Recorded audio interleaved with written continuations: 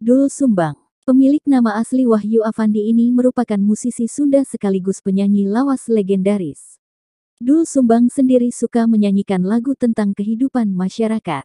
Dul Sumbang juga banyak menciptakan lagu bagi sejumlah penyanyi di Indonesia, seperti Iko, Ita Purnamasari, Yanti Yuning juga duet bersama Agnes Monica dan Eza Yayang yang kala itu masih menjadi penyanyi cilik. Hal itu terlihat karena Dul Sumbang masih sering manggung. Tak hanya itu, pria kelahiran 1963 ini juga aktif di media sosial seperti Instagram dan YouTube. Di Instagramnya, dia membagikan kesibukannya saat manggung dan bersilaturahmi. Misalnya saja, saat bertemu dengan aktor era tahun 1990 sampai tahun 2000, Sahrul Gunawan. Tidak jauh berbeda dengan Instagramnya, di kanal YouTube-nya, Dul Sumbang juga memperlihatkan kesibukan manggungnya dengan durasi yang lebih panjang dibandingkan di Instagram.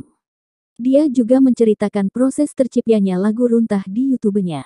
Dul mengungkapkan, dia menulis lagu tersebut dari tahun 1992 sampai tahun 1993. Menurutnya tidak mudah menulis lagu tentang perilaku seseorang harus hati-hati dan akurat, sama halnya dengan menulis lagu kritik.